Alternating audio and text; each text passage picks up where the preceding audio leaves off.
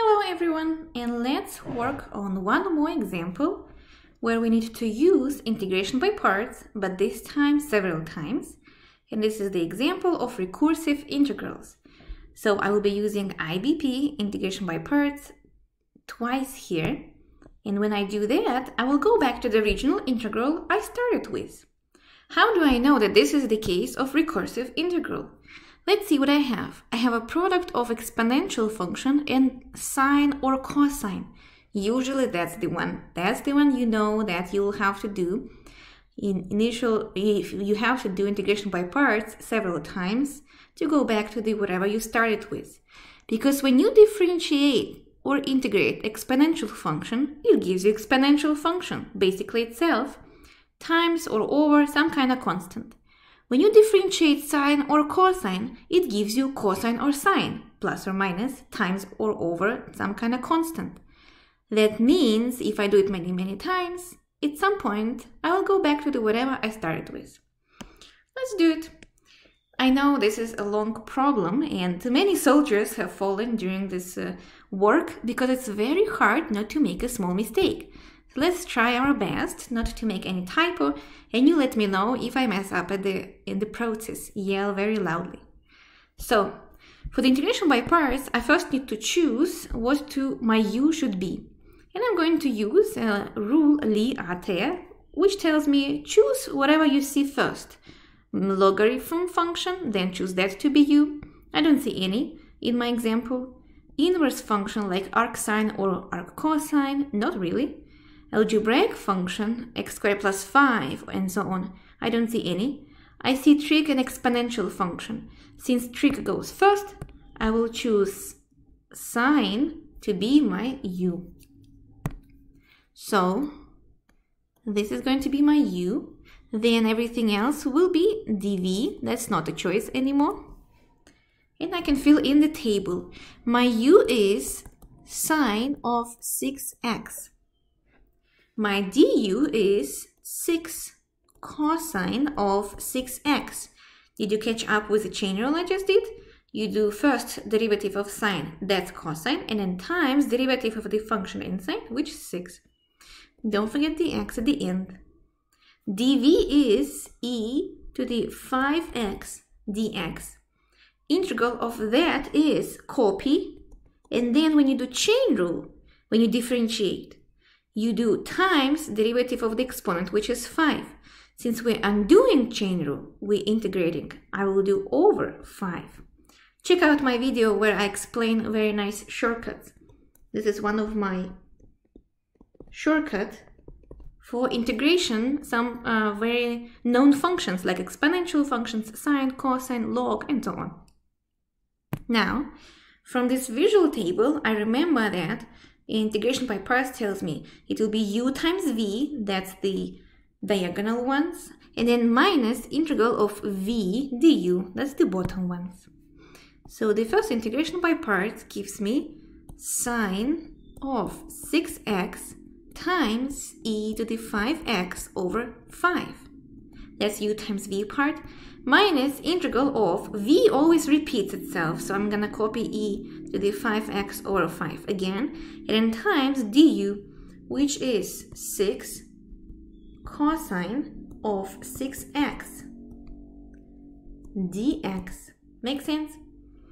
Now integration by parts breaks uh, or breaks down the integral we have into a piece which is already integrated and hopefully a simpler one integral which we can integrate later. Basically, integration by parts was created to undo product rule. But unfortunately, the second integral is still challenging. It's still exponential function times a trig. So I will use integration by parts one more time. But before doing that, I want to get rid of those constants, 6 and 1 over 5. I'll kick them out outside of the integral to make it look better. Now you can rewrite everything and I will just erase it here and over here. And I will have 6 over 5 in orange in front of the integral, which is my second integral. Looks very nice. Now, for the second integral, I will use integration by parts again, using LIATE rule one more time. So cosine now will be my u. And then e to the 5x and dx again will be my dv. Don't be afraid to reuse the same notation as u and dv for the second time. In some books, you can see that they recommend you to use u1, u2, v1, v2. I don't like it. I think it's make it more confusing. The moment we finished integration by parts once, u and v were used and they finished being used. So now I can reuse them again for the new notation. I don't see any problem with that. So my u is cosine 6x this time. Then du will be negative 6 sine 6x dx, right?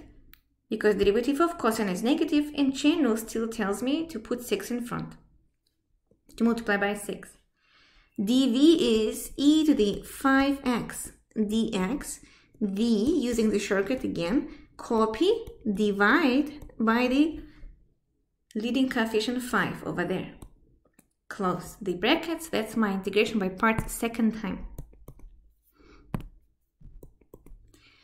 Integration by parts second time tells me that now this integral in yellow over here will be broken into two pieces, but there's still part in front of it, right? So let's not forget to copy everything in front. I have sine of 6x e to the 5x over 5 minus, don't forget the orange part, which is 6 over 5 in front. Then I will open huge brackets and in green color, in green color, I will have integration by parts second times result. So I'll open brackets, the diagonal product gives me cosine of 6x times e to the 5x over 5 minus integral multiply the bottom guys gives me again e to the 5x over 5 is being copied one more time. Then there's a negative sign in front. So actually I can change the negative, well I will not change it just to keep good notation for you. Negative 6 sine 6x parenthesis dx. Usually I change the negative sign in front of the integral right away. And I'm talking about this guy. This and this will be plus now. So now your job is to carefully simplify everything and see why did we do that second time? Was it even helpful or not? So I will simplify everything, which means I'm gonna collect all the constants together to see the total final view. So I will have to distribute the orange part, 6 over 5, into my brackets. And also it's not just 6 over 5, be careful, it's negative 6 over 5. So it becomes negative 6 over 25, because this 5 times 5 can be multiplied, cosine 6x e to the 5x minus, so you see, interesting that minus and the minus gave me plus, but one more minus give me, gives me minus. 6 over, not 6 anymore actually. Look at this, interesting. I have 6 times this 6, that is 36, and I still have 5 over 5, that's 25, right? And then I have integral of e to the 5x sine of 6x dx. I think I did not lose anything. Let's check. Looks good to me. Now, why did I do that? Let's go back to the beginning and copy this integral at the beginning. And I'll paste it here and compare with, with what we have now. This is what I have here. And this is what I got after doing integration by parts twice. Here it is. I just copy and paste it like this. And I can say, this is my equal sign. So after performing integration by parts twice, I started with integral of e to the 5 sine of 6x dx. And now on the right hand side, I have integral of e to the 5x sine of 6x, right? So this is the same integral on the both sides. That's exactly what it means to have recursive integral. It repeated itself. So the idea behind the next step is to call this integral some kind of name. You can call it unknown variable x, but x is already used, so let's use something different. And the common notation is using capital I because of the integral. Let's call this integral I. Then it will be in two places, left hand side and right hand side. Then the equation becomes I equals. Now I will paste the right hand side one more time. But instead of this integral over here, I have negative 36 over 25i. And your job is to solve for i, right? Because the whole idea is, hey, find what this integral is, question mark. So if I'm gonna solve for that i, it means I will find what this integral actually is. Now it's all not about integration anymore. It's about solving the equation, where i is my unknown. I need to solve for i. Solve for i, I will move i to the left hand side. I will have i plus 36 over 25i equals and everything over here, whatever stays on the right hand side. I will copy and put it here. Make sense? So what I did was I took this i with the constant in front of it and move it to the left so it becomes positive. Now, what I have here is either you imagine factoring out i, so it's going to be i parentheses 1 plus 36 over 25, or you just say that you're adding two i's with different uh, coefficients in front of it. It's like x plus 36 over 25x. What is that? Well, 1 is 25 over 25, 25 plus 36 is 61, right? So actually left hand side becomes 61i equals everything on the right hand side. And the last step is basically divide by 61. i equals 1 over 61 brackets, paste all the right hand side one more time, almost done. And this is the answer. So I will put this in the box for you to show that this is actually the answer because my i is the integral we ask you to find. The only thing is we kind of want you to simplify it a little bit, usually. And for this case, do you see any things you can factor out? And usually those things are, you can factor out e to the 5x. So let's do that. If I factor out e to the 5x from everywhere, I will have sine of 6x over 5 minus 6 over 25 cosine 6x. Not too bad.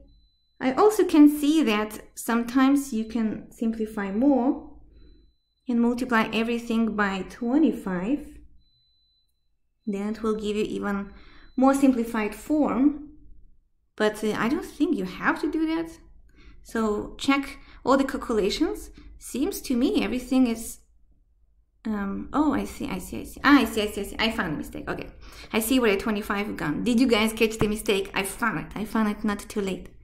Here, I was telling you that 1 plus 36 over 25 36 over 25 is 61. Yes, but it's not 61. It's 61 over 25. I told you it's hard not to make at least small mistake somewhere.